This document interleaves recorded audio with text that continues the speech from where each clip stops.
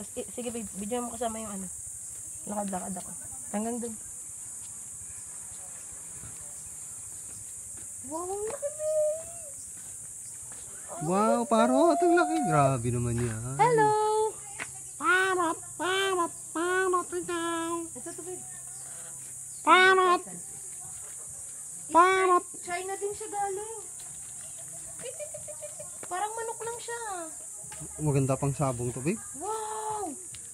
Ayun, oh. Oh. Cute mo, cute. Yung maganda pang sabong ito.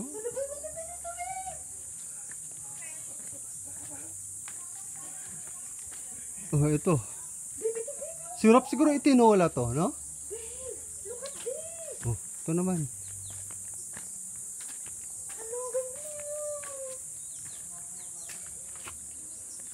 Crow pig yun.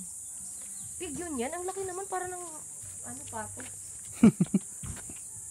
Grabe, babe. Ang ganda ng buhok nila, Ang oh. ganda! Ano, ang masarap dyan? Gataan? Ano sa tingin mo? Gusto mo gata o ano? Nakakukuhanan mo ba ng maayos?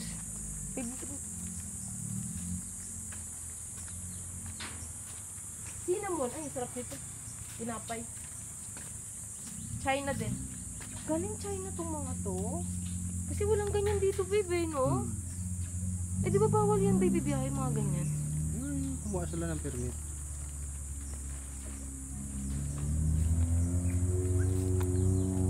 Parang pareho lang yun yata. Ito ng lahi. Ito ng doon sa kabila. Oo. Malaki Pero, lang oo, yun. iba lang yung siguro variety nito ng konti. Kasi ang hirap niyang kuha nun.